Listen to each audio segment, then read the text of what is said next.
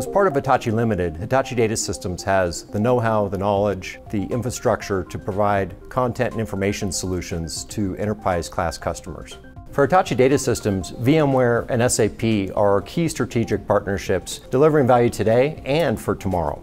The SAP, Hitachi, and VMware partnership is all oriented around helping our customers save money, accelerate their time to market, and enable them to innovate more quickly. And we've been doing this for a very long time.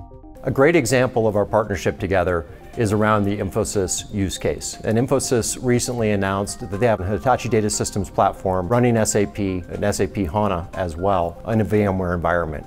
What we bring to the table with technologies like SAP HANA is the ability for customers to take all of this information but derive instant insight with some of the leading technologies that VMware has with vSphere, as well as Hitachi can host all of that in. It really results in that dramatic reduction in cost and the acceleration in time to market. Hitachi Data Systems, VMware, and SAP are simplifying how they get these systems into production. So instead of having to use multiple tools to manage an environment, you can use the vSphere, vCenter tools that you're used to using. So what's exciting is, there's so much more that customers can do today to achieve those cost benefits, the reduction in IT complexity. We can bring all of that together for a customer in an incredibly nimble, flexible, and agile environment. VMware developed the virtual HANA capabilities on the Hitachi Unified Compute Platform. It's tested, it's proven, it's reliable, and the systems were built utilizing our technology from the foundation.